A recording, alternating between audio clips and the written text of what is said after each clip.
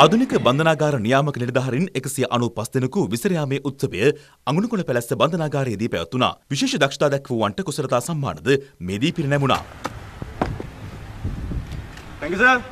රාජ්‍ය අමාත්‍ය අනුරාධ ජයරත්න මහතා ඇතුළු පිරිසක් මෙම අවස්ථාවට සහභාගී වුණා. අධිකරණයට එන සෑම තැනැත්තාගේම ජීවිතය පිළිබඳව අත්අඩංගුවටගත් මොහොතේ පටන් වගකීම රාජ්‍ය භාරගත යුතුයි.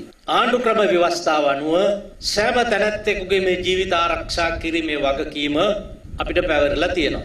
ඒ වගකීම ඉටු කරන්නට තමයි බන්ධනාගාර දෙපාර්තමේන්තුව පවත්වගෙන යන්නේ. වැලිකඩ බන්ධනාගාරයේ අවිශ්වතාපයේ සිරකරුවෝද මිනිස්සුયો කියලා පූර්වක් සවි කරලා තියෙනවා. ඒකේ ලොකු අර්ථයක් තියෙනවා. ඒක ඒ පූර්වට සීමා වෙන්න බෑ. බන්ධනාගාරය තුලදී ඔවුන් සියලු දෙනාටම සමාන මට්ටමින් ඔවුන්ගේ ගෞරවය ආරක්ෂා වෙන විදිහට ඔවුන් රැකබලා ගැනීම බන්ධනාගාර දෙපාර්තමේන්තුවේ වගකීමක්.